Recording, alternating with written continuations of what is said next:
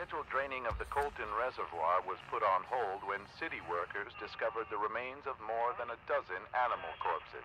The bodies are reported as being in various states of mutilation. Authorities believe the carcasses are from packs of wandering wild dogs, with them most likely to be rabid. Residents are cautioned to refrain from consuming any water sourced from the reservoir and be on the lookout for potentially dangerous animals that are not restrained. The search continues in Muerto County for a missing University of Texas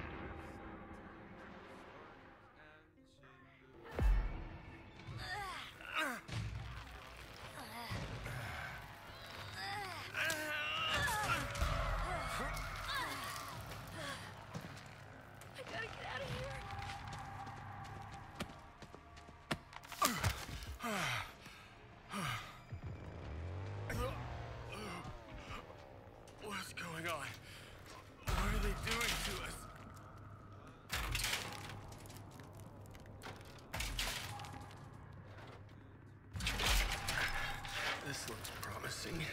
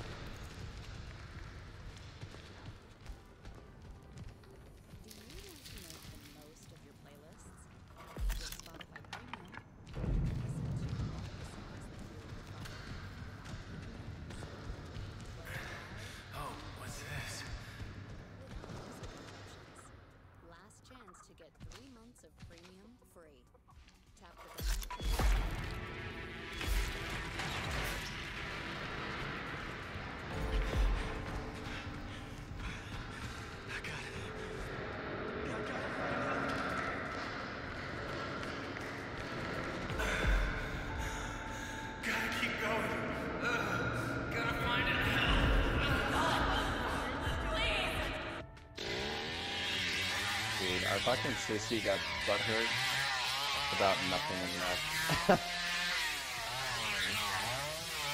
I didn't even see her, to be honest. she gave it up to fight. yeah, she was calling our hitchhiker an idiot, even though he was trying to put a trap in a place that needed to be, and she just DC'd.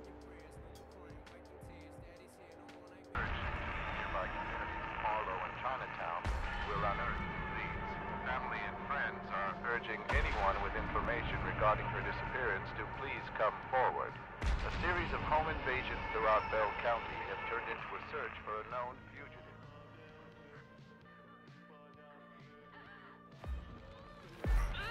Ah.